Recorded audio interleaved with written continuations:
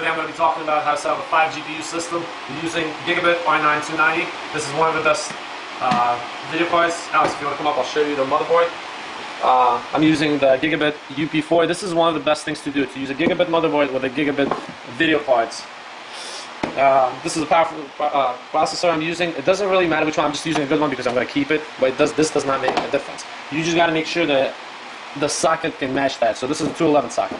Um, I got the 16 gigabytes, but I'm only going to use 8 gigabytes of RAM because that's only that's all you need. 4 gigabytes of RAM is going to be really hard to pull 5 GPU unless you're using Linux operating system. Just wireless keyboard, you got 20 bucks. Um, with the SSD, you can go 64 gigabytes for Windows 8 or probably 8 gigabytes if you're using Linux operating system. In this video, I'm going to be showing Windows 8 operating system. This is the on and off switches. I About a couple bucks. As you can see, we're not using a case, so we, we probably need this. You can buy them in your local computer stores. I bought this at Micro Center. Um, this is the video card. Each video card approximately consumes about 300 watts. So we got five, so it's about 1500. I'm going to undervolt that. I'm going to show that later in the video. Um, and this is the power supply. This is a really cheap power supply, Coolmax. It just gets the job done. The best one is LEPA, 1600. It's really hard to get that. Everything's out of stock. So we're going to be using this bad boy. It's 1600 watts. And this is the rig I built. We're actually going to be selling this. Um, email me if you're looking to buy this. I can ship you overnight. Um, that's it. Just unbox everything as you can see. Uh, this is the power supply, PCIe cable, cooling system, processor, come closer because you can't see that far away. Um, this is a gigabyte motherboard, SSD drive, and all the gigabyte cards, SATA cable, 8 gigabytes of RAM, thermal paste for the processor, switching, PCI risers, we need them because there's only four slots, so I'm going to put three cards on the board, and two of them I'm going to rise it. That's why we build a case like this. This is really solid. It doesn't go anywhere.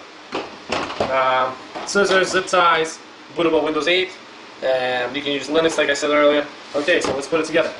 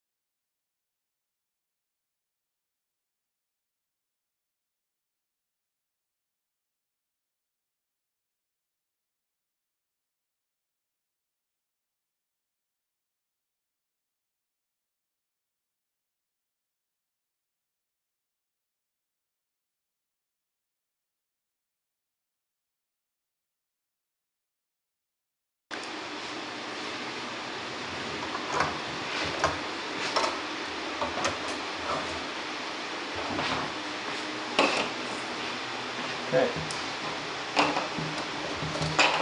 So this is a processor. You want to look where the error is at and match this error. Can you see this error in the case?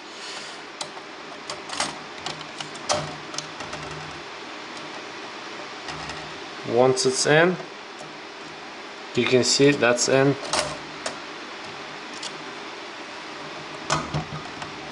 You lock that in place.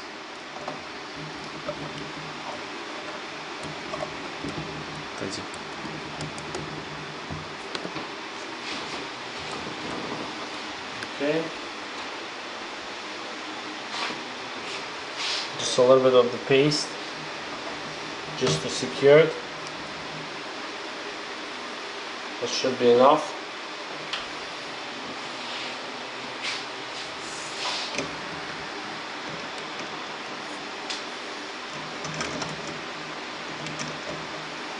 Okay, this connector has to go where it says CPU fan.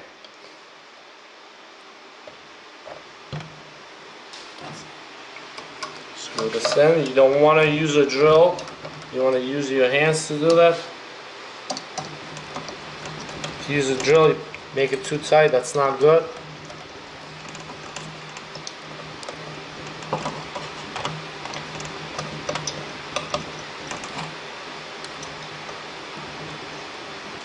Right here it says power. If you zoom in, it's really small and tiny. It says power. Just plug it in. And labeling cables. facing this way. Okay. That's it. The first Somewhere. That's the second one. Um, if you zoom in right here, it says PCIe row 1 and this is row 2. And if you read this label, not that many people actually look at this. Sure. One row is 110 amps, the other one's 50 amps. For those kind of cards, they're not too So close. This is multiply space. 12 by wanna have some 110. kind of fan blowing from the that's, back. That's how many watts you guys can later pull when I'm done. each You can row. see the power switch is just So enough to turn it on. You can extend it. The second row, cables, so we, we got have space. 110. I don't know if you can see that. amps. We zoom in closer. First one's 50, so when you connect That's why I'm going to put two PCI You don't risers want to put now. everything watch one row. You want to kind of mix and match. One X216 doesn't have to connect to one X16. In this case, we got to be really careful because we pushing it. So that's, that's We're going to be using about really close to 1600. If your motherboard is not, if you're using, for example, a different motherboard, and your motherboard is not recognizing all five when you set it up, you want to actually disable the audio uh, in your BIOS, and it should do it for you. A lot of people have been asking the same question over and over. How come mine is only recognizing four, five? Do not use Windows 7.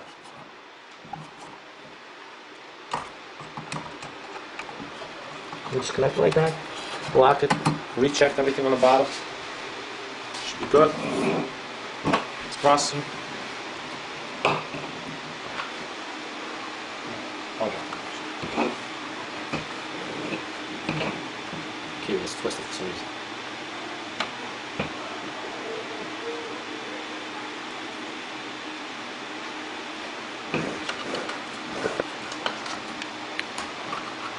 Right here. Just like that. And it's pretty. Okay. Like this. Stick the stuff. Get all the zip ties in. It's looking pretty. Okay, you see. It's looking really pretty. Now we gotta secure this a little bit more. We made some holes in the case. That's good. Put the screws in.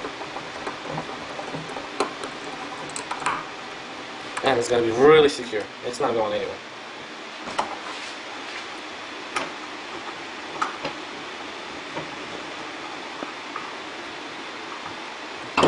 So, as you can see, it's it is pretty solid. That's it. We need a flash, and let's move over there to that side to get the windows on.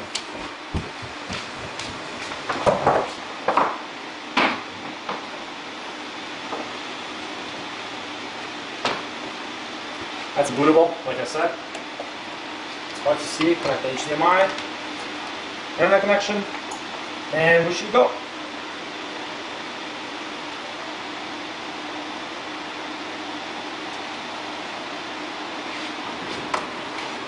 For this motherboard, F12 is to get some boot, bootable phase.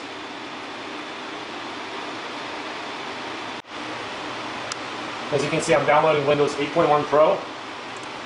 You don't have to, usually, it's cheaper to buy home. You can get the home edition by using Pro. That's the hard drive, brand new hard drive. Next. And that's it. Give it like 20 minutes. Run.